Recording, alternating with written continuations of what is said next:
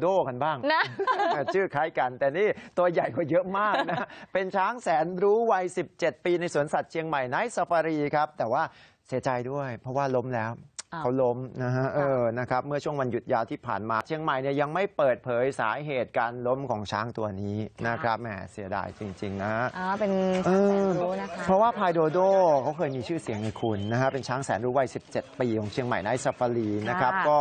ล้มแล้วเมื่อประมาณวันที่ 17-18 กรกฎาคมที่ผ่านมา ซึ่งเป็นช่วงวันหยุดยาวนะครับสาเหตุการล้มเนี่ยยังไม่ได้รับการเปิดเผยจากทางสวนสัตว์นะครับ โดยผู้สื่อข่าวได้ประสานไปยังนายวีรพลบุญชูดวงผู้อำนวยการฝ่ายบริหารกิจการสัตว์เชียงเชียงใหม่ไนท์ซาฟารีนะครับแต่ว่าทางผอ.ก็ยังปฏิเสธการให้ข่าวอยู่ แล้วก็ขอให้ติดต่อทางด้านของผู้อำนวยการสำนักงานเชียงใหม่ไนท์ซาฟารีแทน ก็คือผอ.สราวุฒิศรีสกุล เพื่อสอบถามข้อเท็จจริงกรณีการล้มของพลายโดโด้ครั้งนี้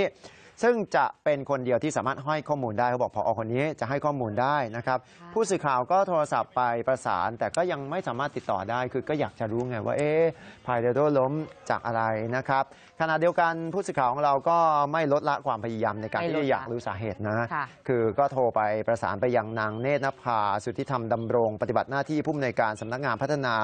พิงคนคร ซึ่งกำกับดูแลเชียงใหม่ไนท์ซาฟารีอีกครั้งหนึ่งอีกทีหนึ่งค่ะในเครือสำนักงานพิงคนครองค์กรมหาชน แต่ก็ไม่สามารถติดต่อสอบถามได้ เช่นเดียวกันนะครับอืมแต่ก็เป็นข่าว